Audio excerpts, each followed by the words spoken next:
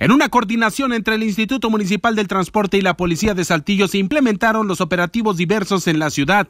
Los dispositivos itinerantes se instalan en diferentes puntos de Saltillo y son de control vehicular a fin de verificar que el servicio público concesionado de los taxis y verificar que estos cuenten con licencia de tarjetones, etcétera, y que estén al corriente. Ante la falta de inspectores del Instituto Municipal del Transporte y el incremento de las unidades de este tipo, la intervención de la Policía Municipal obedece a esta coordinación. Los operativos iniciaron el pasado lunes y a esta fecha se han recuperado, gracias a estos, tres vehículos con reporte de robo.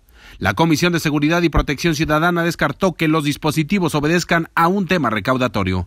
Con la imagen de Miguel Cerda para RCG informó Enrique Hurtado.